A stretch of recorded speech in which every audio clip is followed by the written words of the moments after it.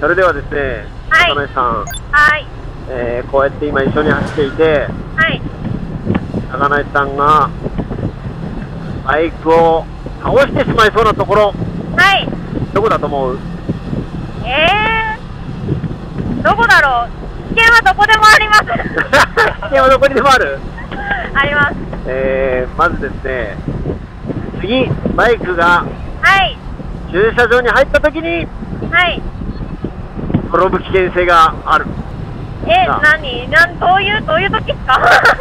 えーバイクの駐車場で転んでる人見たことない？えー、見たことはないけど、でもなんか、結構危うい感じでわーってなってるのはありますね。そうですね。はい。まずはですね、はい。バイクの駐車場ではい。止め方で転ばないように、はい。そんなところを行ってみたいと思います。はい。お願いしま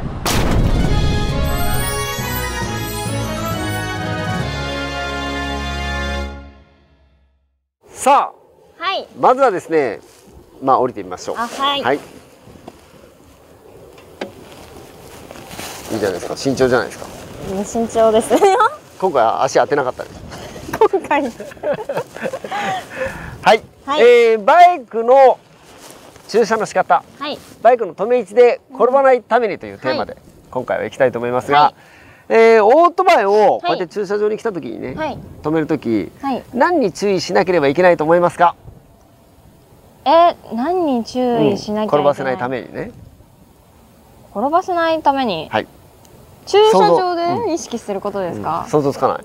あ、あんまりわかんないです。おいいいね。さすがにあんま乗ったことがない。乗ったことがないんで確かに分かんないと思うんですけど、えーオートバイ駐車場の止め位置でよく転ばせるはい。人がいます。おー。よく転んでる人がいます駐車場で、どういう時ですか？えーそれはですね駐車場でですね、はいまあ、教習所ははい。真っ平らですよね、真っ平らです。でもね大体ツーリングに行くと駐車場ってね必ずね坂。確かに、コンビニとかって結構、ナチュラルに、シューンみたいな感じになってますよね。ナチュラルなのそれが。車だったら全然気にしないそうそうそうそう。確かにバイクだったらすごいなんかかなり敏感な敏感になんかこうさ敏感にここ坂だって思うでしょ？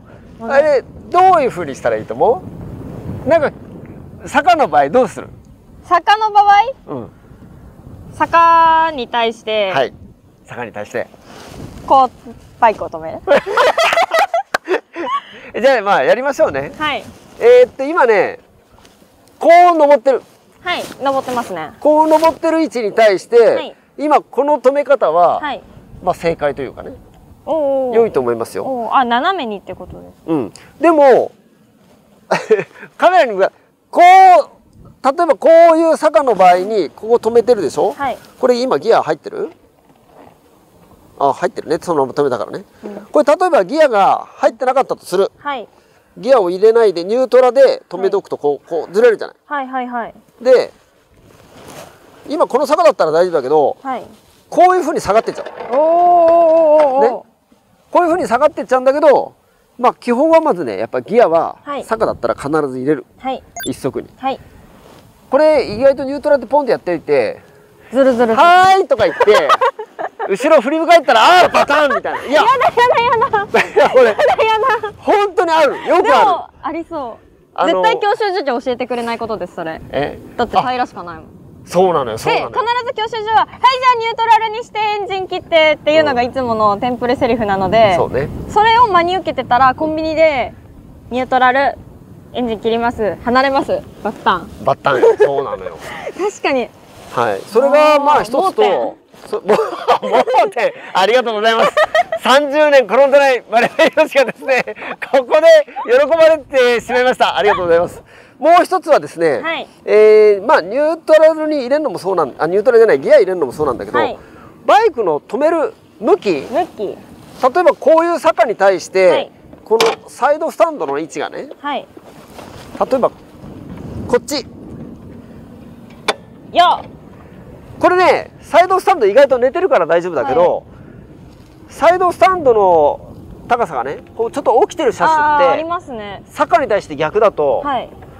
オートバイサイドスタンドの方にねこうやって倒れるってほとんどないの。こっち側に倒れるって、はい。だけどサイドスタンドと反対側にはね、はい結構倒れることがあるえー、だから必ず坂に対しへてえだいたいサイドスタンド側を下に置く。だいたいサイドがだからさっきの止め方がいいんだけど、そうですね。もっと極端に言ったらサイドスタンド側が下に下に来るようにする。ね。はい。そうするとまあこっち側にねこっち側に倒れることはねまあほぼない。ない。でもサイドスタンドが意外とね、はい。ちょっと立ち気味の要はこのサイドスタンドが長いタイプのオートバイあは、ね坂に対して逆に置くとそよく一人で倒れてる。っていうのがあるね。はい。あともう一つ。これ下る方向に坂。坂。下る方向に坂で今ねはい。当然これもね、はい。ギア入れてないとはい。こう進むじゃないですか進みます勝手にねはい。でサイドスタンドこういう位置からはい。前に進むとねおお外れちゃう。そうサイドスタンドが外れる。はい。サイドスタンドってはい後ろにずれる分には絶対外れないけど、はいはい。前に進んでいくと外れる。確かに。簡単にだから外れちゃう。一番やばいのは、はい。下り坂に対してニュートラで ポンって止めておくの。これもね本当にうん。やらない今は分かってるからやらないと思うけど、はい。俺はヤングマシーン30年はい。の中ではい。編集部員がよく倒してました 何人かのへ新人編集部員が「ああやったよ」みたいな。編集部員って言ったってやっぱり新人が入ってくるからね、はい。で俺必ずそれ教える役だから。新人編集部員かやるだろうなっつって俺大体こういうことをいつも言ってるから、はいはいはい。でもそれでもあ後ろああやってやったよっていうね。この止め方はねはい。あのーまあここね坂だったら例えばこう入れるでしょ？はい。ギア。ギア入れる。ギア入れてね。これもよくやるんだけど、ギア入れてもこのちょっとこの動くんですよここ。動きますね。でねギア入れて例えばこう入れとくとはい。このぐらいはずれる。ね？このぐらいずれる。はい。だから俺は坂の場合にはい。ギア入れたらはい。一番前に押してからあ落とす。あこのぐらい気を使ってる。はいはいじゃないとちょっと動くのよこのギア入れてても。このうん。これだけ動くんでこれもスタンドが払われちゃうことがある。ある。だからギア入れたら必ず、えー倒れない方向にはい。一旦このね遊びの部分をやってからやるかな、はい。そのぐらいちょっとね坂道というか駐車。はい。必ずね駐車場に入ったら絶対にある程度差がついてる。本当に真っ平らな駐車場なんかほとんどないよ、ツーリング行って。だからその駐車場の坂を見ながら駐車場に入っていくというね。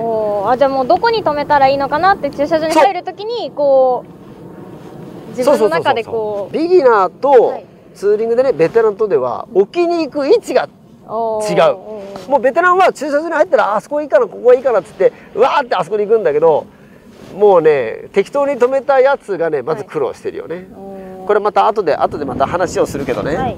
そんな形でですね、はい。えー今日はですねバイクの止め位置はい。をまずしっかりとうん。入ってった時に選ばないと、はい。結局なんていうのかな。もう入ってったら行くとこにしか行かなくて、はい。うわー止めにくいっていう止め止めるところでジタバタして、ああバタンみたいなね。あこれはですね高梨さんが今後いろいろやっていく中でですね、はい。まあやってしまいそうな一つ。ね。意外と慎重派だけどね。うん。でもやっぱりでもそれやっぱそういう知識がなかったら、うん。多分普通にああそこ空いてるって止めちゃうと思うので、うんね。はい。はい。まあそんな形ではい。止め位置をちゃんと選んで止めましょうというのがですね、えー絶対転ばないためのはい。一つです。はい。ありがとうございますす素直だな。どこに反発する要素があるんですかいやいやいやいや。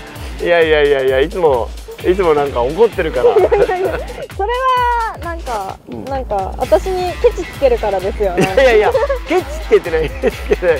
あのケチつけてないのよ。一生懸命教えようとすると教え方に反発をするんでねよくね。